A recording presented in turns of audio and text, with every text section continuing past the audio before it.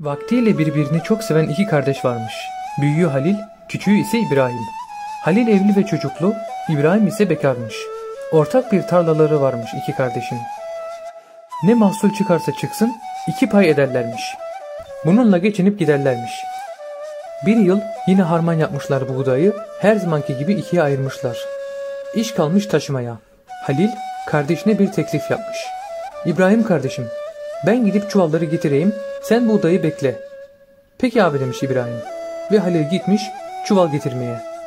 O gidince düşünmüş İbrahim. Abim evli, çocuklu, daha çok buğday lazım onun evine. Böyle demiş ve kendi payından bir miktar atmış abisinin payına. Az sonra Halil çıka gelmiş. Haydi İbrahim demiş. Önce sen doldur da taşı ambara.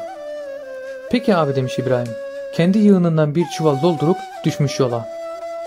O gidince bu defa Halil düşünür der ki çok şükür ben evliyim. Kurulu bir düzenim var. Ama kardeşim bekar. O daha çalışıp para biriktirecek. Ev kurup evlenecek. Böyle düşünerek kendi payından atar onunkine birkaç kürek.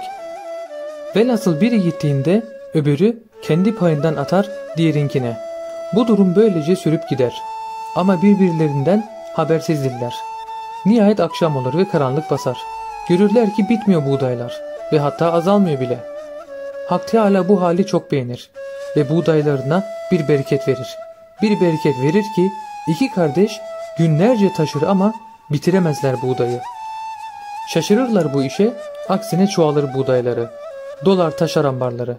Bugün bereket denilince bu iki kardeş akla gelir. Bu bereketin adı ise Halil İbrahim bereketidir.